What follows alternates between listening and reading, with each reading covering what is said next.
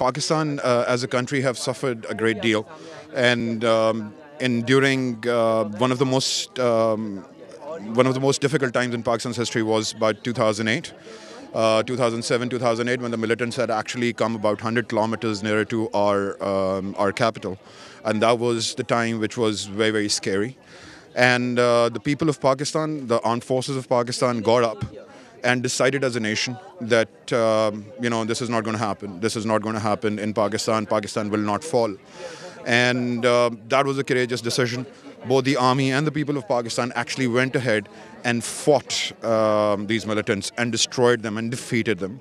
So I wanted to bring that turning point uh, in Pakistan's history to um, show the world uh, a country that which is normally marginalized as saying that has been hub of terrorism, but it's not. It's we have lost over 80,000 people, men, women, children, uh, young kids going to school.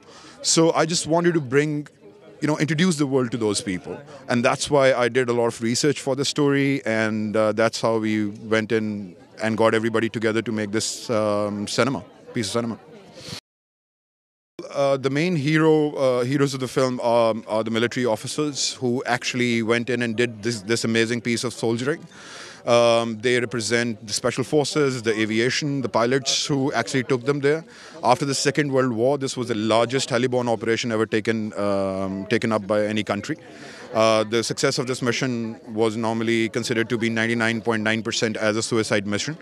Uh, but uh, we and they were going up against the most heavily, uh, you know, fortified areas of the militants. They went and fought them head to head. So uh, the main characters of, you know, Colonel Asad, which is played by Shaan, um, Captain Bilal, which is played by Bilal Ashraf, Adnan Siddiqui played uh, Lieutenant Colonel, uh, a commanding officer of an infantry battalion, them. Then Miss Sana Bucha is playing the journalist, and the journalist uh, she is playing that. Uh, she has also been an embedded journalist while this war was happening. So you know that's uh, for her was a very important thing to do, and she represents the counter narrative, the questions which have been asked for um, from Pakistan and from the people of Pakistan and from the army.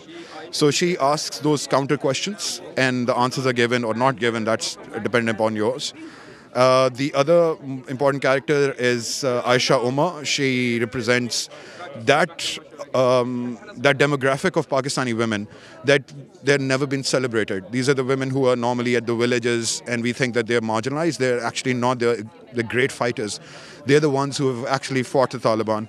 They're the ones who actually go and stood by their men and have taken care of everything. So Ayesha kind of epitomizes that. Her role epitomizes and represents the role of those women. And uh, then you have Armeena, who represents a completely different demographic. Uh, and almost everybody, whether it was Gohar Rasheed, uh, Naim Haq, uh, you know, uh, Ahmed Taha Ghani, he was uh, representing the pilots. Uh, and you have Wali Yusuf, who, who also worked as a pilot, you know, Irfan Gilani, everybody, Atia Khan, all of these people, and Humayun Saeed was the big bad baddie. Uh, Waar 2 is uh, going to be a very different experience. Uh, we have, uh, thank God, we have a lot of international actors on board also for it, and that'll be a surprise for everybody. Uh, we have a couple of actors from Bollywood, we have some actors from Hollywood, and obviously we have uh, the local talent also.